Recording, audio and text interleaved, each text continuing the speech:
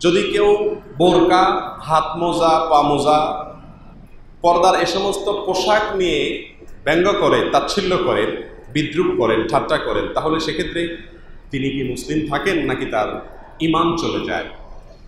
এই প্রশ্ন উত্তরে বলব যে এখানে দুটি বিষয় রয়েছে। একটি হলো পর্দার বিধানকে অস্বীকার করা। মেয়েদের জন্য পর্দা টর্দা দরকার নাই, পুরুষ এবং নারী সবাই সমানভাবে চলবে। মেয়েরা পুরুষরা যেভাবে চলে মেয়েরা এভাবে চলবে।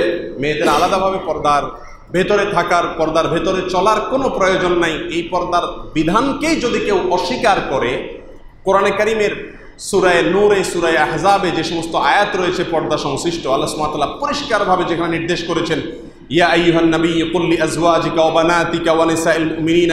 আলাইহিন্না হে নবী, আপনি আপনার স্ত্রীকে, আপনার মেয়েকে এবং সমস্ত মুমিনদের স্ত্রীদেরকে, মেয়েদেরকে বলে দিন। তারা যেন তাদের মাথার ওপরে যে ওড়না আছে, ওইটাকে যেন তারা টেনে দেয়। এটা কেন টেনে দিবে? জালিকা আদনা ইয় অরফনা যেন চেনা যায় যে এরা সম্ভ্রান্ত নারী, মুসলিম নারী, এরা বাজারে মহিলা না। ফালাই দেয় না তাহলে কি হবে? এদেরকে মানুষ উত্ত্যক্ত করবে না। এদেরকে মানুষ বিরক্ত করবে না। এরা আশ্রয়ে থাকবে আল্লাহর এই পর্দার ভিতরে থাকলে তাদেরকে ইফটিজিং করার স্কোপ দুষ্ট এবং বাজে প্রকৃতির মানুষেরা পাবে না। এই আয়াতের আলোকে পরিষ্কারভাবে সারা পৃথিবীর সমস্ত স্কলারগণ একমত যে পর্দার বিধান মেয়েদের জন্য ফার্জ। আল্লাহ সুমাতাল্লাহ নির্দেশ। এবং আরও অনেক আয়াত আল্লাহ সুমাতাল্লাহ কোরআনে নাজিল করেছেন। আল্লাহ আয়াতে বলেছেন ওয়ালায়ুদ্দিন জিনা তাহুন্না ইল্লা মা আযহারা মিনহা ওয়ালায়ুদ্দিন জিনা তাহুন্না ইল্লা লিবুলাতিহিন্না ইলা আখিরিল আয়া। মেয়েরা তাদের সৌন্দর্যকে প্রকাশ করবে না। এই যে প্রকাশ করা নিষেধ, এটাকে ঢাকতে হবে। মূল্যবান জিনিস ঢাকা হয়। লোহা এটাকে কোনো শোকেসে রাখা হয় না, কিন্তু স্বর্ণ এটাকে শোকেসে রাখা হয়। এটাকে অনেক প্যাকেটের ভেতরে আবৃত করে তারপরে রাখা হয়, কারণ মূল্যবান। যেটা দিকে মানুষ তার বাজে দৃষ্টি দিতে পারে, লোভাতুর দৃষ্টি দিতে পারে, সেটাকে মানুষ সংরক্ষণ করার চেষ্টা করে। নারীকে আল্লাহ সুমাতাল্লাহ সেভাবে সৃষ্টি করেছেন। পর্দারে বিধান, তার উপরে এটা কোনো তাকে বন্দি করার জন্য নয়, বরং তার প্রোটেকশনের জন্য, তার হেফাজতের জন্য। আর এই জন্য এই বিধানকে যদি কেউ অস্বীকার করে, তাহলে সে কাফির হয়ে যাবে। তাহলে সে ইসলাম থেকে খারিজ হয়ে যাবে। কোরআনের কোনো আয়াতকে যদি কেউ অস্বীকার করে যে আমি মানি না, আল্লাহর বিধানকে মানি না, অস্বীকার করে, তাহলে সে আল্লাহ দ্রোহী এবং সে কাফের। কিন্তু যদি পর্দার কোনো পোশাককে কেউ অস্বীকার করে, কথার কথা বলল যে না, আমি বোরকা মানি না, বোরকার দরকার নাই, নর্মাল পোশাক দিয়ে পর্দা করা যায়, বা হাত খোলা, মুখ খোলা, এটা কোনো ব্যাপার না। এটা পর্দার আওতায় পড়ে না, আমি পর্দার বিধান মানি, তবে পর্দার এই ফরম্যাটটা আমি এটা মানি না, এটা ভিন্ন ফরম্যাটে মানি, তাহলে সেক্ষেত্রে সে কাফের হবে না। কারণ সে বেসিক এবং মৌলিক কোরআনের নির্দেশকে সরাসরি অস্বীকার করছে না। সে হয়তো অপব্যাখ্যা করছে। কিন্তু সরাসরি কোরআন আয়াতকে কি করছে না, অস্বীকার করছে না। বিধায় যদি কেউ বলে হাত মোজা, পা মোজা কেন পরে? এটা পড়লে তাবুর মতো দেখা যায় বা এটা তাবু ইত্যাদি বলে এটাকে এটা নিয়ে মন্তব্য করে, তাহলে এর ফলে তিনি ইসলাম থেকে খারিজ হয়ে যাবেন না, কারণ তিনি সরাসরি পর্দাকে অস্বীকার করছেন না।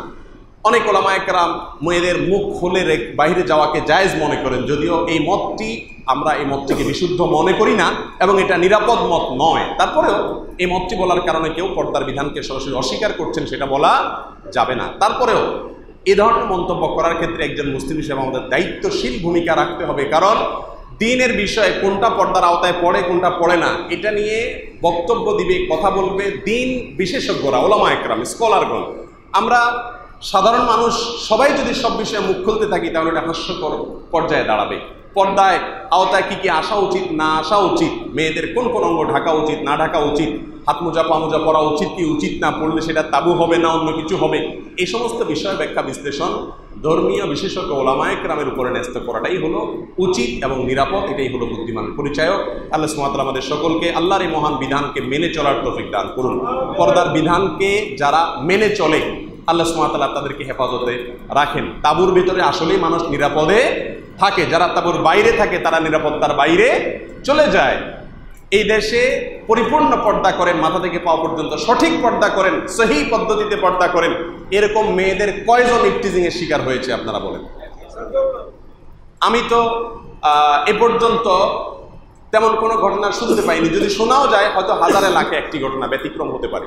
কিন্তু এর বিপরীতে আমাদের যে সকল বোনেরা নিজের সৌন্দর্যকে অন্যদের কাছে প্রদর্শন করে বেড়াচ্ছেন, তারা কিন্তু নানা রকমের উচ্চত্ব হওয়ার মুখোমুখি তারা হচ্ছেন। নানা কারণে তাদের এই পোশাককে আমি দায়ী করছি না, কিন্তু পৃথিবীর উন্নত দেশ যারা আমাদেরকে এই শিক্ষা দিচ্ছেন যে মেয়েদেরকে উত্তপ্ত হওয়ার হাত থেকে বাঁচাবার জন্য নারীর পোশাকের কোনো ভূমিকা নাই, পুরুষের মন ঠিক করতে হবে। সেই সমস্ত দেশের রিপোর্ট এবং জরিপগুলো যদি আমরা দেখতে পাই, তাহলে চোখ কপালে উঠে যাবে। আমেরিকা সহ পশ্চিমা দেশগুলোতে মেয়েরা যেই পরিমাণ হ্যারাসমেন্টের শিকার হন, যৌন নির্যাতনের শিকার হন, তাদের চাইতে আমরা বহুগুণ ভালো আছি। অথচ তারা কিন্তু মন ভালো হওয়ার দীক্ষা দিয়ে থাকেন। এই জন্য আল্লাহ কোরআনে বলেছেন যে, কুল্লিল মুমিনিনা ইয়াগুদ্দু মিন আবসারিহিম ওয়া ইয়াহফাযু ফুরুজাহুম। কুল্লিল মুমিনাতি ইয়াগুদ্দুনা মিন আবসারিহিন্না ওয়া ইয়াহফাযনা মিন ওয়া ইয়াহফাযনা ফুরুজাহুন্না। হে রাসূল, আপনি বলে দিন, মুমিনদেরকে তারা চোখকে সংযত করবে, তাদের মন ঠিক করবে, লজ্জাস্থানকে হেফাজত করবে, মেয়েদেরকেও বলে দিন, তারা যেন তাদের দৃষ্টিকে হেফাজত করে, লজ্জাস্থানকে হেফাজত করে পর্দায় থাকে। তাহলে পুরুষ তার মন ঠিক করতে হবে, নারী তার পোশাককে শালীন রাখতে হবে। তেঁতুল আপনি প্লেটের উপরে খুলে দিয়ে বলবেন, জিভে জল আসতে পারবে না, মনকে কন্ট্রোল করতে হবে। এটা অযৌক্তিক, এটা অসম্ভব। এজন্য সবার মন ঠিক করা সম্ভব না কিন্তু আমি নিজেকে নিজে নিরাপদ করা সম্ভব। এটা আল্লাহ সুমাতালার বিধান। সবচেয়ে বড় কথা আল্লাহ সুমাতালার বিধান, এটাকে অমান্য করলে ইমান চলে যাবে, আর অপব্যাখ্যা করলে ইমান যাবে না, কিন্তু সেটা গুনাহের কাজ। আল্লাহ তালা আমাদেরকে বুঝার তৌফিক দান করুন।